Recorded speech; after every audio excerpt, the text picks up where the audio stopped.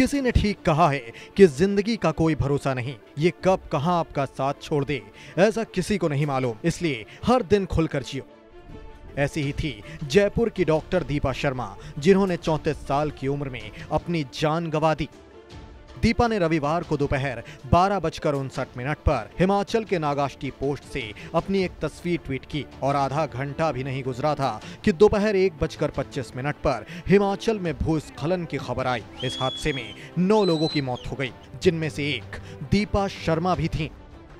दीपा शर्मा के ट्वीट के बाद ही खबर आई कि हिमाचल प्रदेश के किन्नौर ज़िले के चितकुला से सांगला जा रहे पर्यटकों को ले जा रहे एक टेंपो पर बड़ा पत्थर गिर गया। नौ लोगों की मौके पर ही मौत हो गई और तीन लोग घायल हो गए।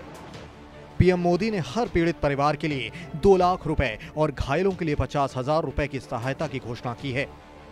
ट्विटर प्रोफ़ाइल के मुताबिक दीपा शर्मा एक आयुर्वेद की डॉक्टर, क्लिनिकल न्यूट्रिशनिस्ट और एक लेखिका थीं।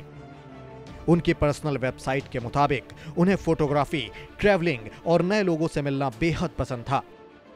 लैंडस्लाइड में अपनी जान गंवाने के एक दिन पहले, उन्होंने अपनी एक फ़ोटो पोस्ट की थी, जिसमें उन्होंने लिखा था कि प्रकृति के बिना जीवन कुछ भी नहीं।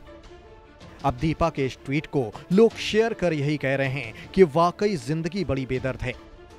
आपको बता दें कि इस हादसे में चार महिलाओं की मौत हुई थी, मरने वाले ज़्यादातर जयपुर के रहने वाले थे।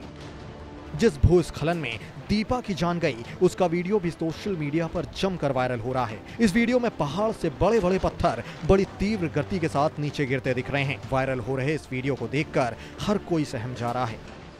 ये वीडियो इस बात की तस्दीक कर रहा है कि पहाड़ सिर्फ़ खूबसूरत नहीं होते, बल्कि किसी भी पल लोगों की जान ले सकते हैं।